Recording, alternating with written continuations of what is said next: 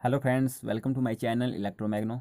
तो फ्रेंड्स, जो ये सर्किट है, इसमें हमने, अगर हमारे पास कोई मोटर है, उसको हमने कभी फॉरवर्ड डायरेक्शन में रोटेट करना है और कभी उसको रिवर्स डायरेक्शन में रोटेट करना है। यानी कि कभी उसको क्लॉकवाइज घुमाना है, कभी उसको एंटी क्लॉकवाइज घुमाना है और बहुत मतलब दिन में हमें कोई सौ बार ऐसा करना है।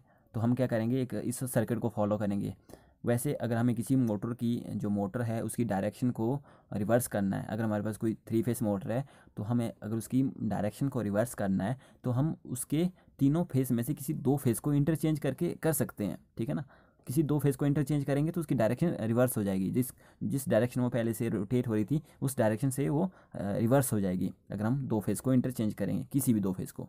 लेकिन अगर कई एप्लीकेशन ऐसी होती है जहाँ पे हमें कोई सौ बार दिन में सौ बार इसको क्या करना पड़ता है? फॉरवर्ड डायरेक्शन में रन करना है और कोई सौ बार ही समझो, उसको रिवर्स डायरेक्शन में रन करना है।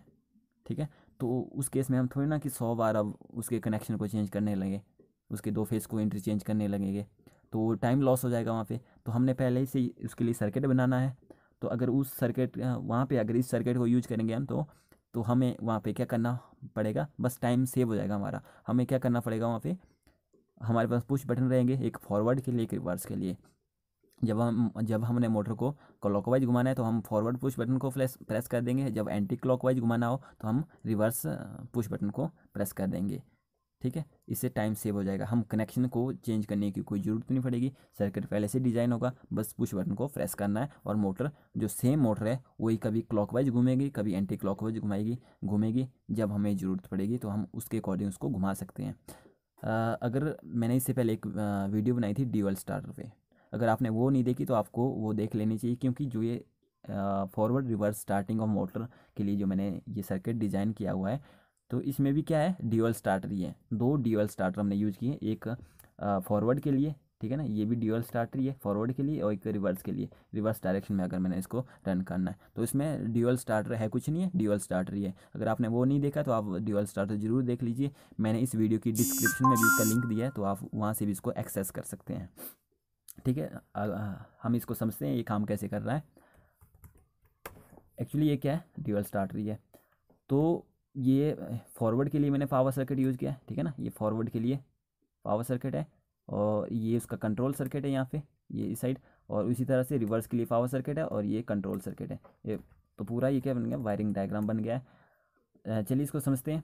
जैसे कि मैंने, ये तो मैं एम मैंने कॉमन इसके लिए यूज़ किया है। एम एक और एक कॉन्टैक्टर फॉरवर्ड वाला ये रिवर्स वाला कॉन्टैक्टर है कॉन्टैक्टर में खास बात ये है कि मैंने इसमें टू ऑक्सिलरी कॉन्टैक्ट यूज़ किए हैं, ठीक है ना? ये टू ऑक्सिलरी कॉन्टैक्ट यूज़ किए हैं, ये तो पावर कॉन्टैक्ट तो है ही, ठीक है ना? ये पावर कॉन्टैक्टर है ऑक्सिलरी कॉन्टैक्ट मैंने टू किए हैं। इनमें एक है? ए एन सी है एक है? एन ओ है। उसी तरह मैंने यहाँ पे भी एक एन सी यूज़ किया एक एन ओ यूज़ किया है। इनके क्या क्या पर्पज़ है यहाँ पे? वो मैं आपको ब्रीफली बताऊँगा। अभी इसके बाद। तो ये ओवरलोड रिले है। टू ओवरलोड रिले यूज़ किया हमने इसके लिए। बैक ऑफ़ प्रोटेक्शन है इसके लिए ओवरलोड के लिए एम वैसे दे रहा है प्रोटेक्शन ओवरलोड के लिए भी और शॉर्ट सर्किट प्रोटेक्शन एम दे रहा है मोटर प्रोटेक्शन सर्किट ब्रेकर दे रहा है। और ये इमरजेंसी स्टॉप पुश बटन है, ये रिवर्स पुश बटन है, ठीक है ना रिवर्स पुश बटन है और ये फॉरवर्ड पुश बटन है और ये मोटर है। जब हमने फॉरवर्ड जब हमने फॉरवर्ड पुश बटन को प्रेस करना है तो आर वाई बी ये आर वाई बी तीन फेस मिल रहे हैं ना इसको, जब तो ये मान लो क्लॉकवाइज घूम रहा है उस केस में।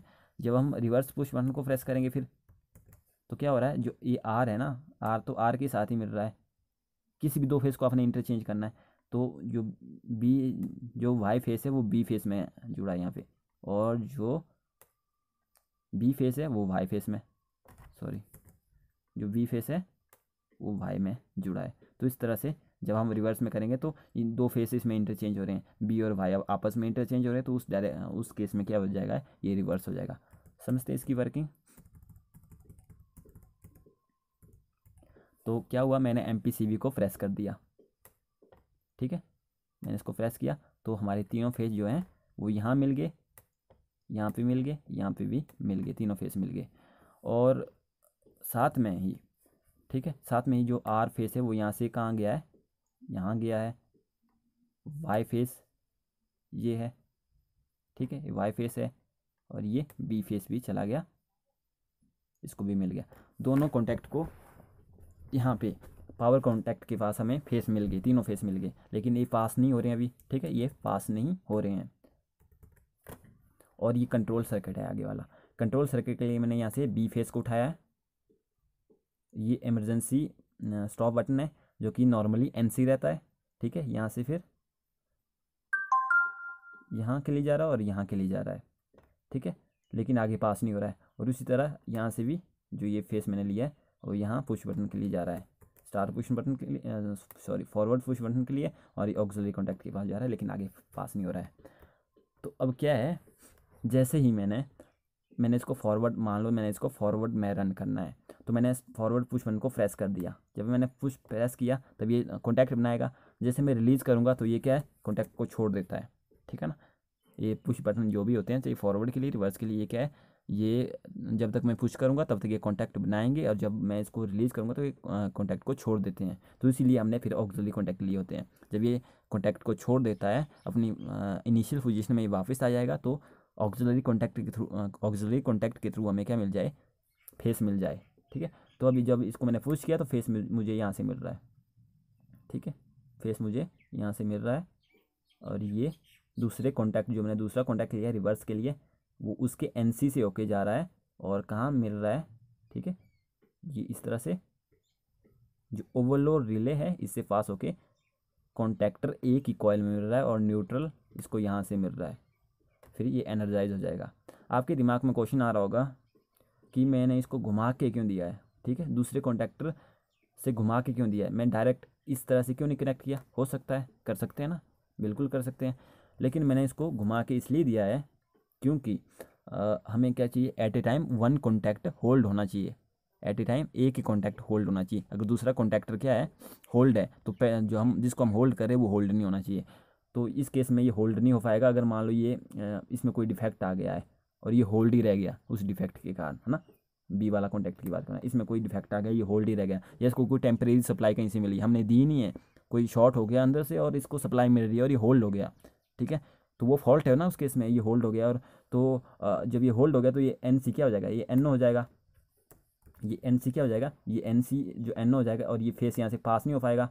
यहाँ से ये एन सी हो जाएगा। जो N sorry A N C क्या हो जाएगा एन हो जाएगा और ये फेस आगे पास नहीं हो पाएगा और इसको मिल नहीं पाएगा। तो उस केस में अगर ये होल्ड है ना बी कॉन्टैक्ट तो ये होल्ड नहीं हो पाएगा फिर, ठीक है? तो इसलिए हमने क्या किया है? At a time one contact sorry one contactor hold होना चाहिए। ओनली वन कॉन्टैक्टर होल्ड होना चाहिए, इसलिए मैंने क्या किया है? जो जो कंट्रोल सर्किट है, इसमें जो, जैसे मैं पुश बटन को प्रेस कर रहा हूँ, जो फेस जा रहा है, वो दूसरे कॉन्टैक्टर के एनसी से होके पहले कॉन्टैक्टर की कॉयल में जा रहा है। ठीक है ना? जैसे पहुँच गया, ठीक है? मान लो ये होल्ड नहीं है तो पहुँच गया, इसको फेस मिल गया यहाँ पे। मिल गया, इसको फेस मिल गया, न्यूट्रल ऊपर से मिल गया। तो ये होल्ड होगी इसकी कॉयल इसकी कॉयल सॉरी कॉयल नहीं, इसकी कॉयल मैगनेटाइज होगी। जब मैगनेटाइज होगी इसकी कॉयल तो इसके कॉन्टैक्ट क्या हो जाएँगे? होल्ड हो जाएँगे। ठीक है ना? ये जुड़ जाएँगे इसके साथ। साथ में जो ऑक्सिलरी कॉन्टैक्ट है एनओ जो सॉरी एनओ है, ये एनसी बन जाएगा, है ना? जब फेस मिल रहा है, वो यहाँ से मिल रहा है अब। और फेस यहाँ से कंटिन्यू मिल रहा है और जो कॉन्टैक्ट है ना, ये कॉन्टैक्ट कॉन्टैक्ट नहीं पुश बटन जो फॉरवर्ड पुश बटन है, ये क्या हो जाएगा? रिलीज़ हो जाएगा। जैसे ये तो उसी टाइम रिलीज़ हो जाएगा ना, जब हम इसको रिलीज़ करेंगे तो ये रिलीज़ हो जाएगा और जैसे इसको पुश करेंगे तो उसी टाइम ये मैगनेटाइज हो जाएगा और ये फेस इसको वहाँ से मिल, यहाँ से मिलना शुरू हो जाएगा और ये उस टाइम में क्या हो जाएगा? ब्रेक हो जाएगा। ये वापस अपनी पोजीशन में आ जाएगा। तो फेस यहाँ से, इस ऑक्सिलरी कॉन्टैक्ट से इसे कंटिन्यू मिल रहा है। जो ये एन सी है, ये उस टाइम क्या हो जाएगा? एन हो जाएगा। तो इससे ये बेनिफिट रहेगा कि अगर तो ये वाला, दूसरे वाला कॉन्टैक्ट ये होल्ड नहीं हो पाएगा उस केस में, ठीक है? अगर ये होल्ड है तो ये नहीं हो पाएगा। तो इसको ये सप्लाई मिल रही है कॉन्टैक्टर एक ही कॉयल को कंटिन्यू सप्लाई मिल रही है और तीनों फेस यहाँ से पास हो रहे हैं और ये फॉरवर्ड में मोटर रन कर रही है क्योंकि इसको तीनों फेस मिल रहे हैं। और अगर मान लो मैंने अब इसको रिवर्स में घुमाना है मोटर को मैंने अब रिवर्स में रोटेट करना है तो मुझे क्या करना पड़ेगा पहले? पहले मेरे को ये करना पड़ेगा, जो ये इमरजेंसी पुश बटन है इसको मेरे को ऑपरेट करना पड़ेगा। जैसे मैं इसको ऑपरेट करूँगा तो ये सर्किट ओपन हो जाएगा। ठीक है? पुश कर दिया, ये एन से एन बन जाएगा। सर्किट क्या हो जाएगा? ओपन हो जाएगा। जो कॉन्टैक्टर सॉरी कॉन्टैक्टर वन जो था एनर्जाइज था ना? कॉन्टैक्टर वन क्या था? एनर्जाइज था। ये डी एनर्जाइज हो जाएगा उस केस में, जब जैसे मैं एमरजेंसी इसको पुश करूँगा। ठीक है? फिर एमरजेंसी पुश वन को मैंने प्रेस किया तो डी एनर्जाइज हो गया। फिर इसको मैंने वापस अपनी पोजीशन पे लाया इमरजेंसी को। अपनी पोजीशन में लाने से क्या एन सी बन गया। जैसे एन सी बन गया, अगर मेरे को रिवर्स में इसको रन करना है तो मैंने रिवर्स वाले पुश बटन को प्रेस किया और ये फेस इसको यहाँ से मिल गया। जो फेस है, यहाँ से ओके कॉन्टैक्टर ए के ऑक्सिलरी कॉन्टैक्ट जो एन सी है, वहाँ से ओके इस तरह से ओवरलोड रिले के ओवरलोड रिले से होके इस कॉन्टैक्टर बी को मिल रहा है और न्यूट्रल इसको यहाँ से मिल रहा है। ये न्यूट्रल जो है डायरेक्ट है ही। डायरेक्ट इसको मिल रहा है यहाँ से, ठीक है? तो ये भी क्या हो जाएगा? एनर्जाइज हो जाएगा उस केस में, ठीक है? ये जुड़ जाएँगे, ये होल्ड हो जाएँगे contact auxiliary contact N C N O हो जाएगा और जो एन ओ है वो एन सी हो जाएगा और इसको जो फेस है वो यहाँ से मिलेगा, क्योंकि ये ओपन हो जाएगा उस केस में, ठीक है ना? ये वापस अपनी पोजीशन में आ जाएगा तो फेस यहाँ से मिलता जाएगा ऑक्सिलरी कॉन्टैक्ट से और ये होल्ड होता रहेगा।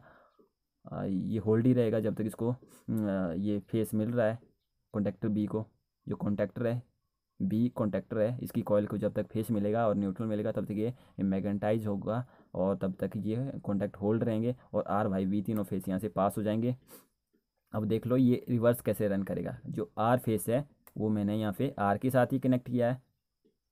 जो बी फेस है। सॉरी ये वाई फेस है। वाई फेस मैंने बी के साथ कनेक्ट किया है, ठीक है ना? और जो वाई वाई था, ये जो वी फेस है, वो फिर वाई के साथ कनेक्टेड है। मतलब जो वाई और बी फेस है ना, मैंने यहाँ पे क्या कर दिए? इंटरचेंज कर दिए। जैसे ही मैं रिवर्स पुश बटन को प्रेस करूँगा और ये होल्ड हो जाएगा। होल्ड होने के बाद जो फेस इसको मिल रहे हैं मोटर को, वो उनमें से जो दो फेस है आर और वाई वो इंटरचेंज होंगे। तो ये डायरेक्शन अगर पहले फॉरवर्ड में रन कर रहा था ना तो ये अब क्या करेगा? रिवर्स रिवर्स में रन करेगा। क्योंकि जो मोटर होती है एसी मोटर जो थ्री फ़ेज़ ऐसी मोटर होती है, उनमें अगर हम कोई भी दो फ़ेज़ को इंटरचेंज करते हैं तो उसका क्या हो जाता है? उसकी डायरेक्शन रिवर्स हो जाती है। तो अगर हमने इसको फिर से अगर फॉरवर्ड में रन करना है तो फिर से हमें एमरजेंसी पुश बटन को प्रेस करना पड़ेगा। ठीक है? फिर से इसको एनसी करना पड़ेगा। और उसके बाद मतलब पुश करने के बाद, जब पुश करेंगे तो ये एन हो जाएगा ना? एनओ से फिर इसको एनसी करना पड़ेगा। और उसके बाद फॉरवर्ड पुश बटन को हम प्रेस करेंगे। और फिर ये फॉरवर्ड में घूमेगा। और अगेन हमें रिवर्स में घुमाना है, फिर इमरजेंसी को पहले पुश करेंगे, उसके बाद रिवर्स पुश बटन को प्रेस करेंगे। तो इस तरह से ये काम करेगा। इस तरह से हम मतलब इस सर्किट्स के थ्रू हम सेम मोटर को फॉरवर्ड और रिवर्स दोनों डायरेक्शन में कंट्रोल कर सकते हैं। ठीक है? बहुत सारी एप्लीकेशन है जहाँ पे हम इस तरह की सर्किट यूज़ करते हैं। सपोज़ एक गेट है हमारे पास, ठीक है ना? एक गेट है और इस और ये ये मान लो गेट है। ये क्या कर रहा है? ट्रैक बना हुआ है यहाँ पे। इसके ऊपर रन कर रहा है। इस ट्रैक के ऊपर ये रन करता है। और रन कैसे करता है? मोटर लगी यहाँ पे। मोटर गियर बॉक्स के थ्रू इसके साथ कनेक्टेड है। जब मोटर क्लॉकवाइज घूम रही है तो ये आगे जा रहा है मान लो। ठीक है? तो ये बंद हो रहा है, गेट बंद हो रहा है। जब ये एंटी क्लॉकवाइज जा रही है तो ये पीछे आ रहा है। मतलब ओपन हो रहा है गेट। तो इस तरह से बहुत सारी एप्लीकेशन है जहाँ पे हम मोटर को फॉरवर्ड और रिवर्स डायरेक्शन में रन कर सकते हैं रोटेट कर सकते हैं और बहुत सारी एप्लीकेशन है जहाँ पे इसकी ज़रूरत पड़ती है। तो वहाँ पे हम इस सर्किट को फॉलो कर सकते हैं। तो गाइज़ अगर आपको ये वीडियो अच्छी लगी तो please like share and subscribe और अगर आपके कोई डाउट है, कोई क्वेश्चन है तो आप कमेंट सेक्शन में पूछ सकते हैं। Thanks for watching take care